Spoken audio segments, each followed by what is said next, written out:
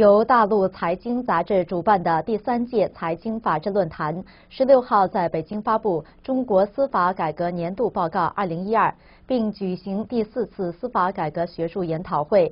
大陆多位法学专家和律师出席。学者指出，大陆司法改革关键是要推动司法独立，让司法独立成为政治改革的突破口。学者并且提出撤销地方政法委。原中国政法大学校长江平表示，要铲除司法不能独立的土壤。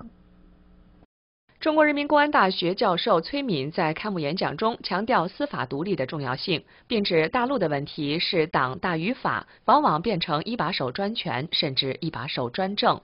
崔敏认为，要推动司法独立，首先要撤销地方的中共政法委。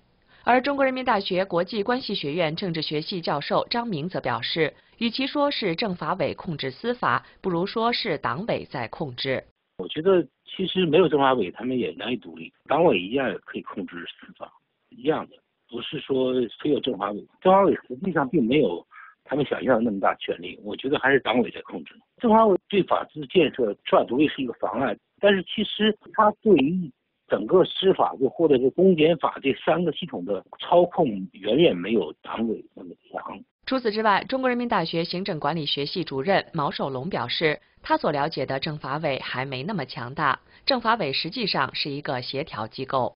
即使撤了他，还会有其他机构来管这个事情。现在法院本身的行政法，检察院本身的行政法，是吧？公安机关自己的非司法运作，这些东西问题更大。都听上级的，听领导的。呃，你法官也是一样，那个都是听院长的，院长听上级的。检察院也一样的，它本身就是一个行政体系。那么，如何改变党在法上的情况？这个是改变党、改变政治制度嘛，让他搞个竞选嘛。像台湾一样，民进党和国民党竞争了，不就那个司法就独立了吗？中国政法大学副教授王建栋和北京理工大学法学院教授徐新主张，让司法独立成为政改的突破口。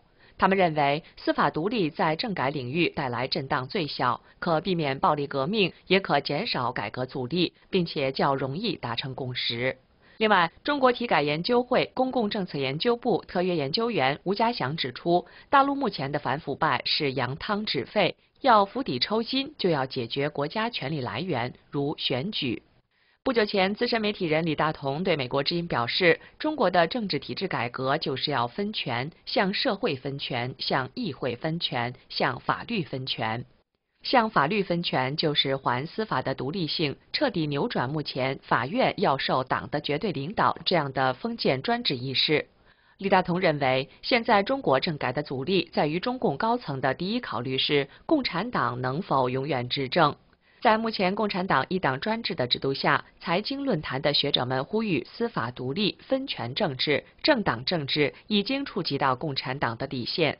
毛寿龙表示，共产党不可能允许实现这些目标，不可能，不把你抓起来就不错了。中国政法大学的终身教授江平说，司法独立的提出只是第一步，最重要的是要铲除司法不能独立的土壤。如果这样的土壤还存在，司法独立不过是无根之木，不能长久。北京大学法学院教授贺卫方则指出。大陆司法改革过去十年处于停顿的原因是司法改革目标不清晰，宪政三权分立、司法独立都不让提。张明表示，中共现在这些不肯改革的体制，就是阻碍司法独立的障碍。